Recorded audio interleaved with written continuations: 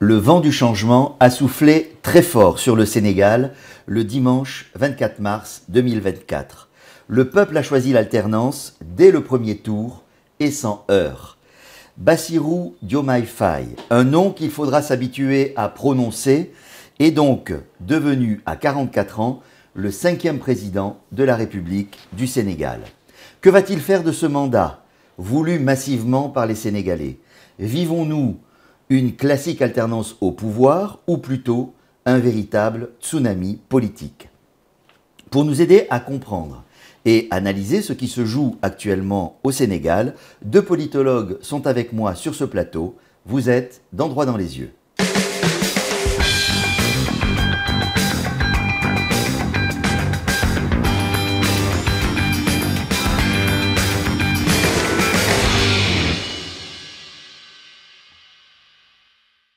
J'accueille le professeur Abdoulaye Bamba. Bonjour professeur, maître de conférence en histoire des relations internationales contemporaines à l'université Félix Houphouët-Boigny. Bienvenue. Merci Philippe. Et monsieur Geoffroy Julien Kouao, politologue et essayiste. Merci messieurs d'avoir euh, répondu à l'invitation de cette info pour partager vos analyses sur cette élection présidentielle au Sénégal. À l'issue du scrutin présidentiel sénégalais, le candidat du pouvoir a reconnu sa défaite, le président sortant a félicité le président élu. Est-ce que vous vous attendiez euh, finalement à ce que nous avons vécu compte tenu des tensions qui ont précédé le scrutin, Geoffroy? Non, en fait, ce n'est pas une surprise pour tout observateur de la scène politique euh, euh, sénégalaise. Euh, l'organisation du scrutin au Sénégal a toujours tourné à la, perfection. Il n'y a jamais eu de contestation majeure. Les perdants ont toujours appelé les, vainqueurs pour les, lui présenter leurs félicitations. Et nous sommes donc dans une tradition sénégalaise respectée. évidemment, vous avez raison de dire que bien avant cette, euh, euh, ce scrutin, cette élection présidentielle, c'était tendu. Il y avait quelques euh, maladresses politiques de la part de M. Macky Sall, mais connaissant très bien les, institutions sénégalaises qui sont assez, assez fortes, je n'avais personnellement pas de crainte quant à la parfaite organisation de ce scrutin. Professeur Bamba, ce que le Sénégal a donné à voir au monde, est-ce pour vous la manifestation d'une maturité politique et démocratique du peuple sénégalais et de sa classe politique? Pour le peuple sénégalais, on dira qu'ils ont un peu l'habitude. Mais pour les autres pays africains, c'est vraiment une leçon de maturité. De la prison à la présidence, c'est un peu comme ça que je résume. Il faut rappeler que le président élu était 15 jours, il y a 15 jours était encore en prison. C'est comme ça que je résume un peu la trajectoire de Bassirou. Et donc c'est une leçon pour les autres pays pour les Sénégalais, ils sont un peu habitués à cela. Voilà ce que je peux dire. En février dernier, euh, pourtant, le président Macky Sall avait voulu repousser le scrutin au mois de décembre 2024. Alors, on n'avait pas bien compris euh, la manœuvre euh, qui a finalement échoué, ou en tout cas, on n'avait pas très bien compris les arguments que le président Macky Sall avait employés pour prendre cette décision. Qu'est-ce qu'il a cherché à faire? Non, il faut, il faut le dire clairement. Euh, M. Macky Sall voulait conserver le, euh, le, pouvoir. Évidemment, il ne pouvait pas opérer de, changement constitutionnel et donc il a essayé de ruser avec euh, la démocratie. Vous savez, toute personne qui a du pouvoir a tendance à l'abuser, mais il faudrait que par la disposition normale des choses, le pouvoir arrête le pouvoir. Et là, dans l'espèce sénégalaise, on a vu très bien que les contre-pouvoirs ont bien fonctionné, principalement le Conseil constitutionnel qui s'est opposé à la volonté jupitérienne de M. Euh, euh, Macky Sall. Il faut aussi féliciter le peuple euh, sénégalais qui a une maturité politique extrêmement élevée. Et, tout, cela, tout cela participe de la vitalité de la démocratie sénégalaise. Mais qu'est-ce qu'il aurait bien pu faire pendant les huit mois qu'il s'était donné de temps pour éventuellement rester au pouvoir? Qu'est-ce. Écoutez, moi, quand j'ai euh, quand j'ai appris cette nouvelle, je me suis dit, mais qu'est-ce qui a bien, piqué, bien piqué euh, Macky Sall? Il a été très mal inspiré de penser un instant qu'il pouvait faire ce qu'il a fait. Euh, conserver le pouvoir, je, dirais plutôt qu'il voulait plutôt remettre le pouvoir à un camp qui lui était favorable. C'est ce qui a échoué, parce que lui, il était parti. Il fallait mettre en place des artifices, artifices pour que quelque part, celui qui va venir fasse un peu l'affaire de, de Macky Sall. Mais en réalité, il a été très très mal inspiré. Pourtant, on a dit que son, le, candidat de, son camp, le, Premier ministre Amadouba, euh, il, y avait un peu de l'eau dans le gaz entre eux. Il n'était pas forcément euh, très joyeux de le voir lui succéder non plus. Oui, mais cela s'est ressenti même pendant la campagne. On a vu nullement Macky Sall soutenir euh, Amadouba. À la limite même, je dirais, ça c'est ma conviction personnelle, que Macky Sall n'a pas vraiment milité en faveur de la victoire de Amadouba. Ce sentiment est réellement partagé euh, dans son parti. Donc il, cherchait une alternative? Oui, je pense, je pense. On disait qu'il lognait du côté du fils de, de Wad, et que donc c'est pour cela qu'il avait tenté donc de remettre en cause un peu le calendrier électoral. Mais en tout cas, c'était vraiment pas pour euh, Amadouba. D'accord. Vous avez fait référence au Conseil constitutionnel qui a fait montre de courage. Est-ce que vous diriez qu'il a sauvé la démocratie sénégalaise? Oui, évidemment, évidemment. Comme je l'ai dit, la démocratie euh, fonctionne euh, euh, avec les contre-pouvoirs. Vous savez, dans, une, dans un État, le pouvoir, c'est l'exécutif. Et les autres institutions sont par définition des contre-pouvoirs. permettent, n'est-ce pas, de réguler Hein, euh, la vie euh, euh, démocratique. Et là, on l'a très bien vu, Macky Sall voulait remettre en cause l'ordre constitutionnel et l'ordre politique, et les sages du Conseil constitutionnel ont joué leur rôle en lui disant non. Euh, mais tout à l'heure, pour revenir euh, à la posture de Macky Sall pendant euh, l'élection présidentielle, je pense que s'il n'était pas à côté de d'Amadouba, c'est parce que il était extrêmement devenu impopulaire, impopulaire, et donc il ne voulait pas plomber son candidat. Plomber son, son candidat, parce que n'oublions pas que cette élection présidentielle sénégalaise prenait valeur de référendum contre ou pour Macky Sall, contre ou pour l'ancien ordre politique. Et donc là, euh, c'est une défaite sanglante, euh, certes pour Amadouba, mais surtout pour euh, Macky Sall. Cette tentative de, report du scrutin, est-ce qu'à votre avis, elle a pesé dans le résultat final? Oui, elle a absolument pesé, elle a pesé de tout son poids. Parce qu'elle a d'abord suscité la colère du peuple, qui était uni comme un seul homme. Elle a aussi permis aux, juges, comme l'a dit tout à l'heure Kwao, de se donner rendez-vous et de montrer à la face du monde que les, juristes au Sénégal peuvent lire les, les, droits, peuvent appliquer les droits et peuvent faire respecter la Constitution. Donc je dirais que cette tentative-là a desservi totalement le camp de Macky Sall. Alors pour comprendre le résultat de ce scrutin, il faut revenir un peu aux forces en présence. Qui est le nouveau président Bassirou Diomaye Faye et euh, qui est son concurrent principal, l'ex-premier ministre Amadouba. Qui prend? Oui, il faut dire qu'il euh, euh, y avait euh, quatre forces en présence réellement. C'est-à-dire le camp présidentiel, hein, l'APR de Macky Sall avec sa coalition avec le Parti socialiste qui n'existe presque plus. Il y avait également le camp de Ousmane Sanko qui présentait Bachirou. Mais il y a aussi il deux anciens dinosaures de la scène politique sénégalaise, euh, Macky Sall, euh, Khalifa Sall et Idrissa Seck, de Idrissa Seck, l'ancien dauphin de Daboulaye Wade. Évidemment, il y avait une opposition de style, mais surtout de, programme politique. Amadouba, le candidat de la majorité présidentielle, s'inscrivait dans la continuité de la politique de Macky Sall. Alors que Bachirou euh, lui euh, s'inscrivait dans euh, une posture de, de rupture. Et d'ailleurs, quand vous regardez le contenu de son programme, par exemple la remise en cause du franc CFA, ça montre bien qu'il était vraiment pour un nouvel ordre politique et économique. Nous y reviendrons effectivement dans la deuxième partie de, cette émission pour comprendre un, peu quelle va être l'action hein, des, nouveaux, de ce nouvel homme au pouvoir. Mais en attendant, on revient à l'analyse du scrutin on a l'impression que rien ne pouvait arrêter la vague qui a porté Bassirou Diomaye au pouvoir finalement.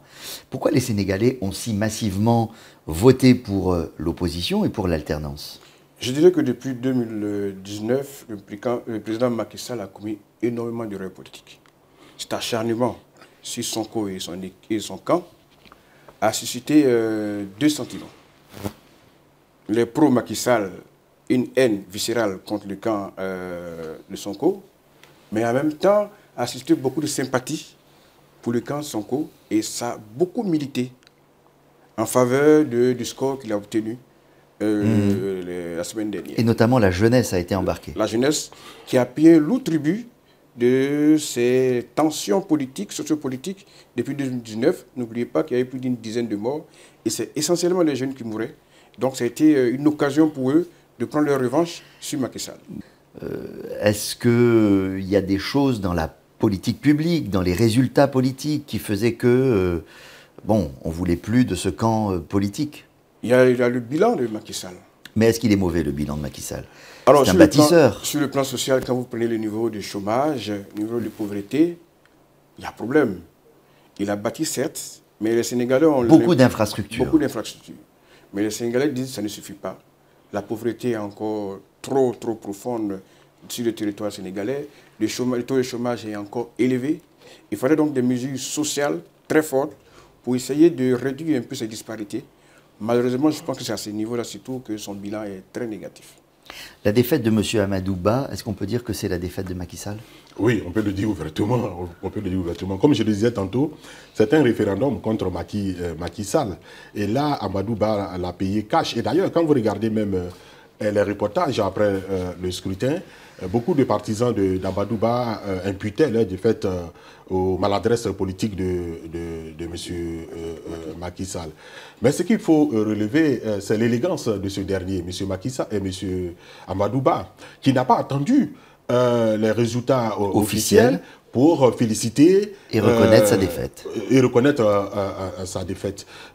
une des remarques que je, fais pendant ces élections, c'est la maturité hein, politique du personnel politique sénégalais. C'est avec ça que nous avons commencé. Effectivement, c'est ce qui est frappant. C'est ce qui est extrêmement, extrêmement frappant. parce que vous savez, pour construire une démocratie, il faut des démocrates. Pour construire une administration, il faut des fonctionnaires neutres. Et on le regarde, on le, voit bien à l'observation qu'au Sénégal, on a des fonctionnaires neutres et on a euh, des hommes politiques démocrates. Je pense que ce sont les véritables atouts du, euh, Sénégal. Euh, parlons de l'autre camp. Ousmane Sonko, c'était le plan A. C'est lui qui devait se présenter. Il en a été empêché parce qu'il il avait sur lui une condamnation pour diffamation. Il reste néanmoins le principal artisan de cette victoire et victoire de son adjoint à la tête du parti qu'ils avaient créé ensemble, le PASTEF. Est-ce qu'il n'y a pas là les ferments d'un potentiel conflit entre Sonko et le nouveau président? Oui, euh, il faut, cette hypothèse, il ne faut pas l'écarter. Vous savez, à un moment donné, le ego vont prendre une dimension. Le dauphin qui devient le patron, est-ce que l'ancien patron va accepter? Mais ça, tout à l'heure, Kwao a parlé de maturité. Je pense que les deux doivent faire preuve de maturité. Ils ont montré qu'en formant une équipe, ils pouvaient donc euh, obtenir le pouvoir, ils l'ont obtenu. Ils peuvent donc gérer ce pouvoir de façon euh, en équipe. Mais si Sonko est toujours dans la posture de l'ancien patron du chef, alors que le vrai chef d'État maintenant, c'est Bassirou, donc je pense que c'est à ce moment-là que les couacs vont se présenter. Alors, euh, je pense qu'ils l'ont déjà montré. Lorsqu'il devait être reçu par le président Macky Sall, on a vu que Sanko était en arrière-plan et, et Bachirou euh, euh, devant. Et Bachirou, dans son verbatim, ne cesse d'appeler euh, Sanko le, le, président. Mais en même temps, il faut faire très attention parce que l'appétit vient en mangeant. Bachirou sera, dans une nouvelle posture du président. Comme on dit, il n'y en a qu'un seul qui a le stylo rouge. Et il y aura un seul, un seul capitaine. Mais en même temps aussi, il faut interroger la sous-région et principalement la Gambie qui est à côté. Vous voyez, en, 2016, le même scénario s'est présenté. Euh, Ousmane euh, Barbo, qui était euh, le patron de l'opposition, était emprisonné. Et il a désigné son second, son dauphin, Adama Barrow, comme candidat. Et Adama Barrow est sorti vainqueur de l'élection contre Yaya Djamé. Et dans les premiers moments, évidemment, Adama Barrow a nommé euh, euh, euh, Barbo comme euh, vice-président et le tandem fonctionnait bien jusqu'en 1980, en 2019 où tout a périclité et les uns et les autres se regardaient anciens de, de faïence. Je pense que c'est fort possible parce qu'il y aura aussi des contingences internes et externes. Et puis il va y avoir la, réalité de la situation, la réalité du pouvoir, la réalité des décisions. Oui, évidemment, évidemment. Donc ce n'est pas à, à, exclure, mais je pense que ils, sont, ils, sont, ils viennent de loin. Les deux viennent de loin et ils veulent vraiment un changement. Hein, je ne dirais pas radical, mais total de la vie politique. Et ça, cela suppose une convergence hein, des, énergies. Justement, quelle pourrait être, à votre avis, la place que pourrait prendre Ousmane Sonko bon, Quand on regarde aujourd'hui dans l'architecture euh, euh, politique ou constitutionnelle, voire institutionnelle du, Sénégal, il peut par exemple occuper euh, le poste de, Premier ministre, chef du gouvernement. ou bien attendre dans trois ans lors des élections législatives, occuper le poste de euh, président de l'Assemblée nationale. Il ne, peut, il ne, peut, pas dissoudre l'Assemblée, là. Si, si, si, il peut Au niveau du, Parce que là, il n'a pas la majorité au, Parlement. Au niveau de, du droit, enfin, de la Constitution sénégalaise, il peut. Euh, le président de la République peut dissoudre le, Parlement. D'accord. Parce qu'au Sénégal, le Parlement est responsable. Euh, euh, le gouvernement est responsable, devant, le Parlement. Devant, mais il va probablement le faire pour avoir une majorité. Probablement, il va le faire. Mais je pense qu'il serait intéressant qu'il confie plutôt le poste de Premier ministre à Ousmane Sanko, parce que le Premier ministre, c'est lui qui met en exécution, n'est-ce pas, le programme politique du président de la République. Et donc, ça permettrait aux deux de gouverner ensemble. Professeur Rousse, oui, je vous en prie. Je voudrais, sur cette question, dire qu'il a même annoncé les couleurs. Il a parlé de réformes. Il a estimé que le régime euh, au Sénégal était un régime présidentialiste, qu'il fallait réduire le, certain pouvoir du président et les remettre au Premier ministre. Je pense donc qu'il est peut-être dans cette logique-là de nommer son co-Premier ministre et on va, ainsi on va assister à un partage du pouvoir qui pourra peut-être limiter les dégâts entre les deux. D'accord. Certains professeurs ont présenté Ousmane Sonko et, Bassirou euh, Diomaye comme proches des frères musulmans, voire des salafistes. Est-ce que c'est un fait établi euh, ou bien est-ce que c'est un fantasme de leurs opposants? Euh, Je pense que c'est un fantasme de des opposants politiques. Et il faut surtout s'y Et pourquoi on les, on les, on les, on les met là-dedans Il faut, il faut s'y construire également dans le contexte de, de la diversité politique, de la campagne électorale, pour donner une image de ces deux. D'abord à l'Occident, ouais. pour dire méfiez-vous de ces deux jeunes-là, parce qu'ils ont des soutiens euh, très dangereux. Donc moi, je pense qu'il ne faut pas aller au-delà de cela. Je pense aussi c'est dû au fait que la société sénégalaise est une société fortement islamisée et que euh, tous les leaders politiques euh, ont des parrains religieux Hein, vous savez, là-bas, les guides religieux ont un véritable pouvoir social, voire même euh, euh, euh, politique. Mhm. Et, donc, la religiosité des hommes politiques sénégalais n'est plus à, démontrer. Mais aller jusqu'à dire que... On, les verra. On verra cela à l'œuvre. Je ne pense pas que Ousmane Sanko et Bachirou aient cette tentation d'aller à cette aventure islamique. Bassirou Diomaye Faye était en prison jusque au jour du début de la campagne présidentielle, donc euh, jusqu'à il y a une quinzaine de jours, on l'a dit tout à l'heure, on l'a qualifié de candidat anti-système. En quoi l'alternance que nous vivons aujourd'hui est différente des précédentes En quoi pourrait-elle représenter une véritable rupture par rapport à des alternances que le Sénégal a déjà connues dans le passé? Oui, quand d'abord on lit le, programme politique du PASTEF, on peut déjà parler de, rupture. Euh, prenons par exemple un, exemple simple. Euh, la question du franc CFA. Euh, Sanko et, et sont d'une extrême clarté sur la question. Pour eux, soit la CDAO se dote d'une nouvelle monnaie, par exemple l'éco, soit chaque pays se donne une, une monnaie. Et comme eux, ils sont les responsables du Sénégal, donc le Sénégal, si la CDAO ne se donne pas une nouvelle monnaie, va euh, se donner euh, une nouvelle Alors, précision, puisqu'on est sur le franc CFA, allons-y. Euh, pourquoi est-ce qu'il voudrait quitter le franc CFA et pourquoi le franc CFA remplacé par l'éco aurait plus de grâce à leurs yeux? Alors, ce n'est pas tant qu'il veut quitter le, franc CFA de façon immédiate, mais il pose des conditions. Il y a un processus qui avait été engagé au niveau de l'éco. Où est-ce qu'on en est avec ce processus?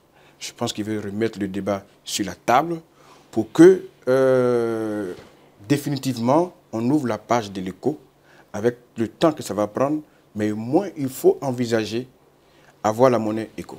Maintenant, si pas Qu'est-ce qu'elle a cette monnaie éco de plus Vous savez, de plus en plus, euh, la jeunesse africaine s'est dit qu'une monnaie est aussi un élément de souveraineté. Elle a du mal à comprendre encore que jusqu'à présent, le CFA soit fabriqué en France, que le CFA soit encore adossé à la France. Et comme je l'ai dit tantôt, il y a une nouvelle mentalité de la jeunesse africaine, il faut en tenir compte. Et comme Sonko et Bassirou sont jeunes, ils sont à l'écoute donc de, des jeunes africains, à l'écoute des jeunes sénégalais, et c'est pour ça que ce rendez-vous-là, je pense qu'ils ne vont pas le rater. Est-ce qu'un pays comme le Sénégal a la capacité, j'allais dire, économique, d'avoir une politique monétaire propre et une monnaie propre? Des pays moins riches que le Sénégal ont leur propre monnaie. Et ça marche? Mais ils vivent bien. Ouais. Ils vivent pas... Euh, Qui, par exemple? Vous avez la Guinée, mhm. qui a sa monnaie. Vous avez le Libéria, qui a sa monnaie. Vous avez la Sierra, la Sierra Leone, qui a sa monnaie. Ils sont tous membres de la CDAO. Ils vivent bien ceux qui ont le franc CFA n'ont pas un niveau de vie euh, paradisiaque par rapport à ces, pays-là.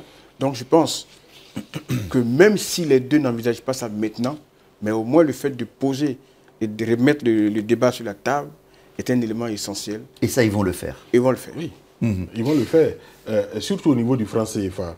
Euh, d'abord, c'est une rupture parce que vous savez que le franc CFA symbolise par excellence le néocolonialisme.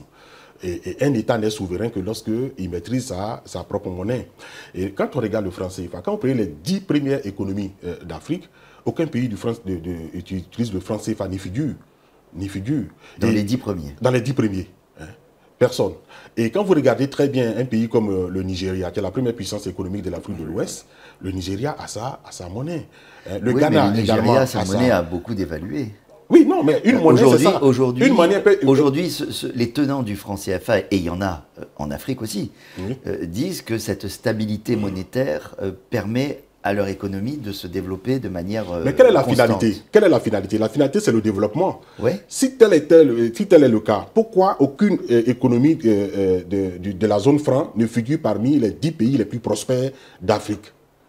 Voici la question inaugurale. Et puis, autre chose, si tant il est vrai que le franc CFA est une très bonne monnaie, je vous promets qu'on refera un débat sur le franc CFA. pourquoi la France elle-même n'utilise pas le franc CFA Voici une question inaugurale. Si le franc CFA est une très bonne monnaie qui permet le développement, pourquoi la France elle-même n'utilise pas le franc CFA C'est une bonne question. Moi, oui, j'ai une approche euh, qui est moins économiste. C'est-à-dire qu'avoir sa propre monnaie est d'abord une, un élément de souveraineté. Oui, c'est pas forcément une condition pour être développé, mais ça montre que vous êtes souverain. Et je pense que c'est à cela que les États, les jeunes aujourd'hui. C'est ça. Or, c'est un sujet qui est au cœur de la, de, de, la vision politique de ces nouveaux arrivants, ces nouveaux dirigeants. Autre sujet, euh, le, Sonko et son parti, le PASTEF, ils ont, ils ont émergé politiquement à la faveur de dénonciations de détournement de deniers publics. D'ailleurs, c'est ce qui a valu à Sonko d'être radié de la fonction publique. Euh, donc ça veut dire quoi? Qu'ils vont mettre la, la, lutte contre la corruption comme une priorité euh, réelle, avérée euh, dans le pays? Ça fait partie de ses priorités, il a déjà annoncé. Mhm. La lutte contre la corruption à toutes les échelles. Or, ils sont crédibles quand ils parlent. Ils sont crédibles quand ils parlent. Vu d'où ils viennent, et même vu, vu Et vu leur niveau de vie, enfin vu leur manière de vivre Oui, mais je pense que c'est, il faut leur faire confiance dans un premier temps. On va observer les 100 premiers jours, mhm. les premières actions qu'ils vont poser. à partir de ce moment-là, on pourra dire euh, s'ils mhm. sont crédibles ou pas. Autre caractéristique. Oui, mais au niveau de leur train de vie, je ne pense pas qu'ils aient un train de vie euh, de bourgeois. Hein? Justement. Quand on a vu. C'est eh ben, pour ça que je euh, dis Quand on a vu, par exemple. Non, il ne faut pas se méprendre. C'est-à-dire comme ils, vivent modestement, modestement ils sont crédibles quand ils disent qu'ils vont regarder à, deux fois. Oui, mais comme l'a dit Bamba, c'est qu'il faut attendre on les verra. Le... Parce qu'il ne faut pas aussi penser que parce qu'ils ont gagné les élections, parce qu'ils sont euh, pavés de bonnes intentions, qu'ils vont forcément réussir. On a vu en Afrique des gens qui ont suscité beaucoup d'espoir. Voilà, et qui après ont totalement euh, déçu. Très souvent, les dirigeants africains arrivent en héros et, malheureusement partent en tirant. Non mais justement, un autre sujet qui va probablement se heurter au principe de réalité, c'est la volonté du, nouveau président de, travailler sur la redistribution des richesses, la répartition des richesses dans le pays. Ça, c'est un dossier énorme. Vous disiez que l'un des, problèmes, c'est la pauvreté, et on le met au débit du président Macky Sall. réussir dans ce domaine-là, c'est une sacrée paire de manches. Oui, cela suppose qu'il faut mettre en place une politique vigoureuse, être à l'écoute de la jeunesse mhm. Et euh, répartir équitablement ces richesses-là et surtout et surtout lutter contre la, corruption. S'ils parviennent à lutter contre la pollution et qu'on a une redistribution équitable des richesses, cela pourrait réduire donc ce taux de pauvreté et je pense qu'à ce niveau-là, ça va être euh, un élément essentiel pour eux. Oui, pour réussir la politique de la justice sociale, il faut mener simplement une politique de gauche c'est-à-dire mettre l'accent sur la dépense publique c'est-à-dire mettre en avant, hein, valoriser le service public, en construisant beaucoup d'écoles. Et, donc la dette mais évidemment, mais la dette, elle, se fait dans un, cadre bien, bien, défini. Hein, parce que euh, c'est beau de construire des, des, infrastructures, mais si les populations n'y ont pas accès, voici la question inaugurale. S'il y a un hôpital, mais je ne peux pas avoir accès à cet hôpital, il sert à quoi? Et donc, il faut beaucoup mettre l'accent sur la dépense publique. Parce que n'oubliez pas que, vous voyez, en France, on parle par exemple des trains glorieuses. Mais les trains glorieuses, ça répond à quoi? C'est la dépense publique. On ne peut euh, mener une politique libérale que si... C'est la croissance. Oui, non, mais la croissance ne peut venir qu'à partir... Parce que quand on met l'accent sur la dépense publique, ça, veut dire quoi? Ça permet aux gens d'avoir du pouvoir d'achat et aussi de consommer. Donc vous, vous êtes un, dit, la demande un, un pur keynésien, mais d'autres pensent que, pensent que ça peut poser euh, des, Bon, on, verra, on verra l'œuvre. Et c'est là on verra leur génie. Parce qu'une chose, elle est dit, on veut être président et autres, mais une autre maintenant, avoir... Je reviens à l'idée de, souveraineté. Euh, changer de monnaie, ça voudrait dire peut-être quitter l'UMOA. Est-ce que, quelles sont les intentions euh, des nouveaux dirigeants du Sénégal par rapport à la CDAO, à votre avis? Les intentions, euh, ils sont conscients que la CDAO a des faiblesses. Il faut accepter donc de se pencher sur ces faiblesses-là, d'aborder clairement ces questions et préconiser des solutions. Si cela est fait, je pense qu'en ce moment-là, il n'y aurait aucun inconvénient à rester au sein de la CDAO. Mais si le père refuse d'aborder les questions de face, c'est là qu'il pourrait y avoir un quoi entre euh, la jeunesse sénégalaise au pouvoir et les euh, dinosaures qui sont là depuis euh, plusieurs années. Toujours sur cette affaire de souveraineté, le président élu s'est voulu à la fois un peu rassurant et en même temps il met une petite alerte.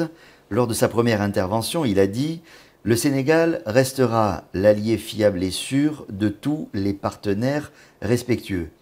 Évidemment, le moins important ici, c'est respectueux. Oui, mais évidemment, euh, tout le monde attend Bachirou sur euh, euh, la, coopération internationale. Est-ce qu'il va donner à la France cette position de privilégié dans les relations euh, euh, bilatérale. Euh, je pense qu'ils vont essayer de diversifier ses, partenaires et surtout voir au niveau du sud global, c'est-à-dire au niveau des brisques, la Turquie, la Chine, la, Russie, le, Brésil, etc. Dans tous les cas de figure, cette élection de Bachirou à la tête du Sénégal marque le crépuscule de la France-Afrique. Professeur, vous, vous êtes un, spécialiste de la Chine en, Afrique. Euh, est-ce que, par exemple, la Chine est assez présente au Sénégal déjà, ou bien il y a une ouverture possible?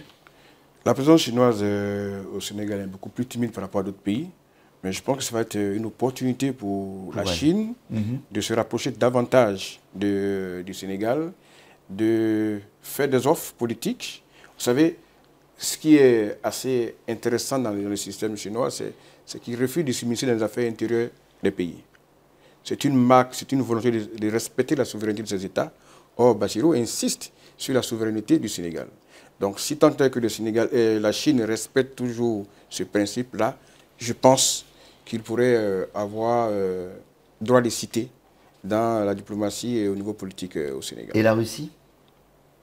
Alors, je ne personnellement, je ne m'attends pas à un à une arrivée massive des Russes Oui, je pense qu'ils vont être prudents, prudents mhm. parce que le contexte est un peu différent. Qui va être prudent? Les Bassirou et Sonko seront très prudents mhm. par rapport à, ceux qui ont abordé un virage à 80 degrés. Ils vont être prudents, ils vont observer, parce que toute la communauté internationale les a félicités. Donc il n'y a pas de raison de changer systématiquement et s'accrocher directement à la Justement, euh, à propos de la France, euh, le nouveau président, le nouvel élu, a dit le partenariat entre la France et le Sénégal jusqu'au moment où je vous parle, et ça il a dit à la veille du scrutin, est un partenariat correct, mais il doit être revisité. Il doit être plus gagnant pour nous. Alors qu'est-ce qu'il y a dans les accords de partenariat avec la France, qui reste jusqu'à aujourd'hui le premier partenaire commercial du Sénégal? Qu'est-ce qu'il y a dans, ces partenaires, dans ce partenariat qui peut être revisité? Oh, Je pense que d'abord, euh, euh, au niveau économique, on l'a abordé avec le franc CFA, mais au niveau, par exemple, militaire, n'oublions pas que, par exemple, il y a euh, des forces militaires stationnées à Dakar, mhm. etc. Donc, ce sont des choses... Ça peut gêner, ça, les nouveaux... Oui, oui, c'est tout ça, ça, ça, gêne. Tout ça, ça montre des relations paternalistes. et c'est ce que la jeunesse africaine refuse. Mais vous savez que le président français a décidé quasiment la fermeture de tous les camps militaires permanents. Tant mieux, tant mieux. Et c'est ce que, par exemple, demande la jeunesse africaine. Uh-huh. Et donc, tout ça va dans le sens souhaité par euh, les nouveaux dirigeants sénégalais. Je dirais que Macron, Sonko, Bassirou, c'est un peu la même génération. Oui. Lorsqu'ils vont se rencontrer, ils pourront peut-être se comprendre et que Macron va peut-être mieux comprendre ces jeunes parce que euh, c'est également un élément générationnel. S'il comprend les désirs de Bassirou, ça pourrait donc euh, garantir une certaine présence française au Sénégal. Mais s'il se met dans la posture de la Grande France vis-à-vis de l'ancienne colonie, je pense qu'il risque de perdre le Sénégal une fois de plus. Ah, ah. Et justement, alors vous parliez du président Macron, quand il a félicité euh, le nouveau président sénégalais, il s'est dit impatient de travailler avec lui. Est-ce que c'est une façon de montrer patte blanche à l'égard d'un nouveau dirigeant qu'on a souvent présenté comme anti-français? D'abord, c'est d'abord le discours habituel, diplomatique. C'est la première des choses. Il ne faut pas se laisser euh, leurrer par ces expressions. Ça a été utilisé un peu partout. Mhm. C'est dans les faits que Bachirou et Sonko verront vraiment si euh, Macron a adopté une nouvelle posture vis-à-vis du Sénégal.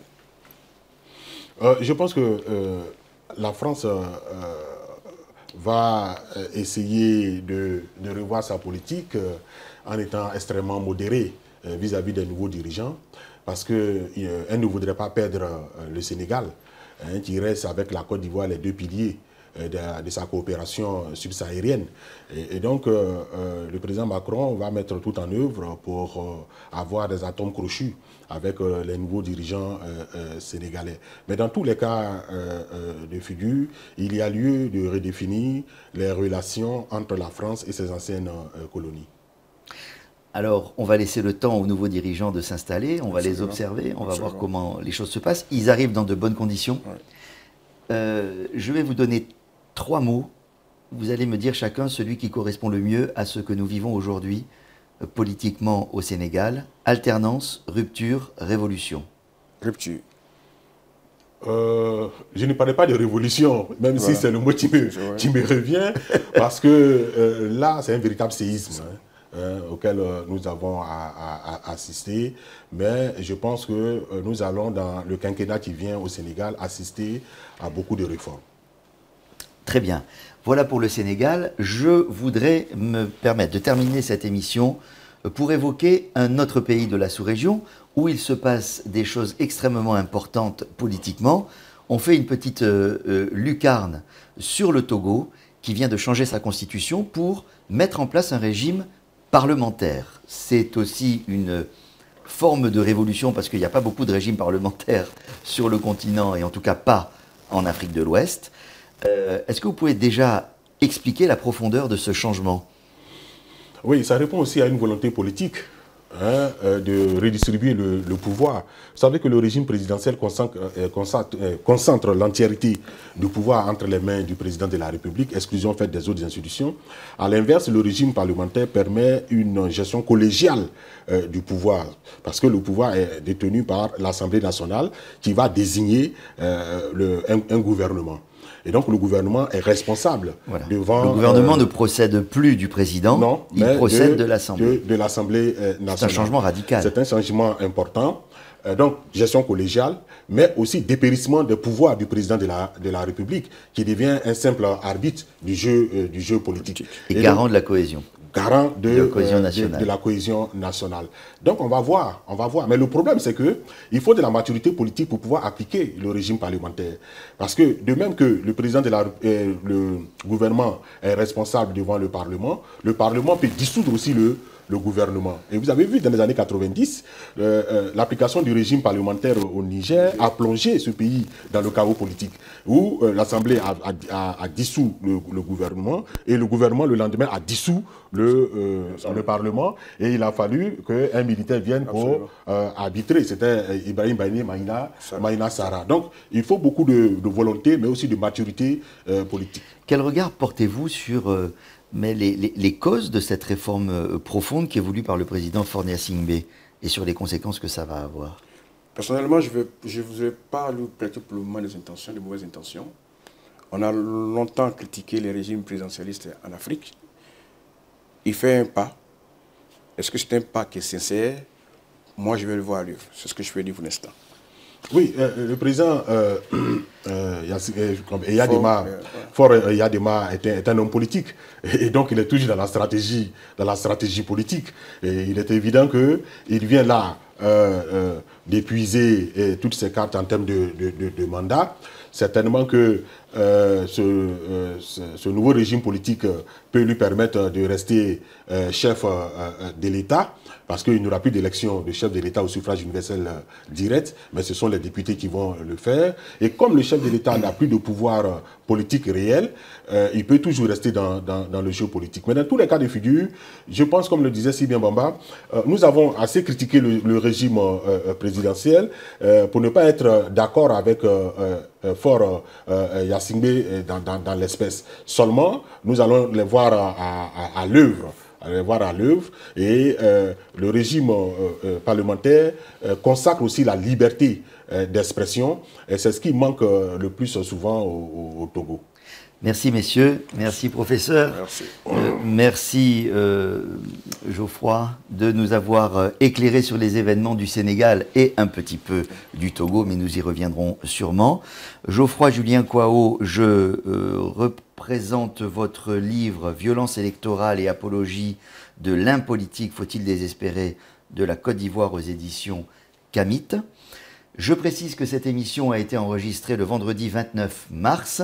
La passation de pouvoir au Sénégal aura lieu le mardi 2 avril 2024, qui est le jour, la date de fin de mandat du président Macky Sall. Merci de votre attention. À la prochaine fois.